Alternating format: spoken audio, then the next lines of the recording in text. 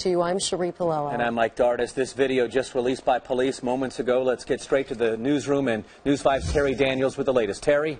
Well, first, guys, a warning. The video is pretty graphic. We have edited it, but it is important for people to see what happened. Now, new to de developments, two clerks who fought back with guns will not be facing any charges. That today from Hamilton County Prosecutor Joe Deters. In the meantime, that surveillance video showing just what happened has just been released.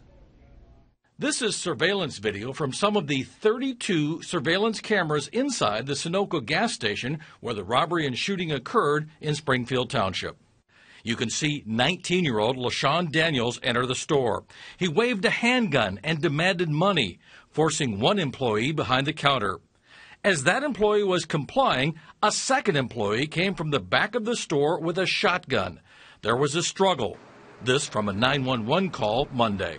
He shot at us and we shot him. Have you been hit? No, we didn't been hit. It turns out the clerk behind the counter was also armed. He hadn't had time to pull his 40 caliber weapon until the second clerk came out.